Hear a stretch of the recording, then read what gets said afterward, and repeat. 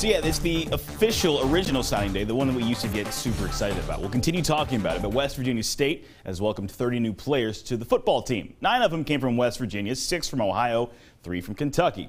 The Yellow Jackets held a luncheon earlier today to celebrate for the committed players and their families. Expectations for this team are high, as always. We've had back-to-back winning seasons. Uh, we got a team, a locker room that really gets it. Uh, not only do they believe in what we're doing, uh, but they know what it takes to win a championship, and, and, they have really bought in to doing the little things right, paying attention to the details. So you got a team that's hungry for success.